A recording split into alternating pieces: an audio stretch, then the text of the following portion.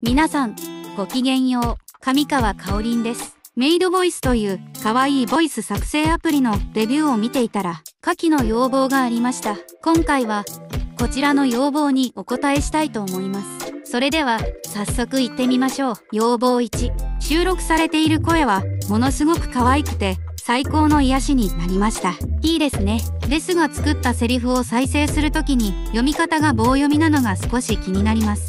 まるで人間が喋っているように、とまでは言いませんが、せめてゆっくりボイスみたいな感じの読み方にできないでしょうか。せっかく声が可愛いのに、セリフの読み方が完全に棒読みなのは、もったいないと思います。難しいかもしれませんが、できれば改善お願いします。3年前、ということなんですが、これ、まさにそうですよね。収録されているボイスは、非常に高品質で、本物のメイドが喋っているように聞こえるんですが、こちらが喋らせたいワードを入力しても、まともに発音できません。作者も全くやる気がないようで、もはや終わっているアプリと言わざるを得ません。うん。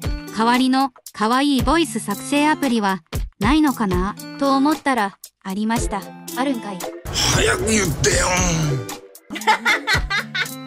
なんと、萌え TTS というサイトで、萌え声が100種類ぐらい登録されています。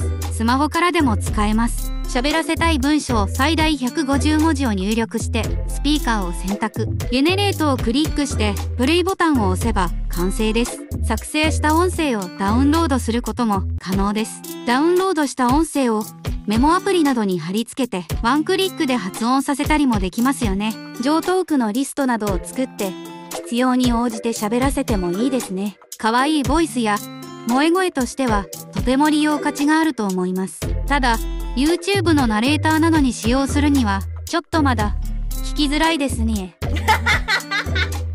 今後に期待したいですね。以上です。